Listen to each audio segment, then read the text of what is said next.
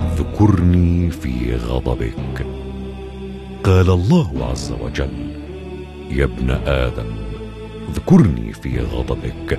أذكرك في غضبي لأمحقك في من أمحق. وارض بي منتصرا فإن انتصاري لك خير من انتصارك لنفسك. وإذا ظلمت بمظلمة فارضى بانتصاري لك.